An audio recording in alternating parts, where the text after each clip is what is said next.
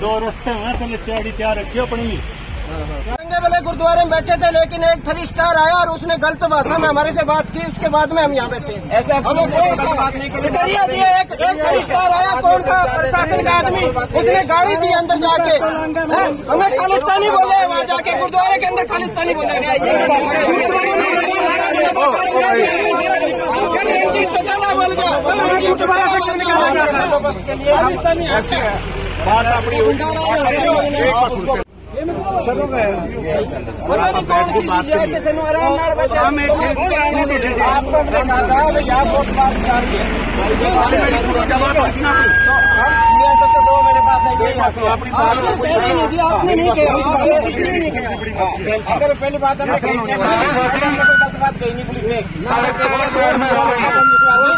गुरु हमारा भी है। आपको नहीं करे जी आपने नहीं कही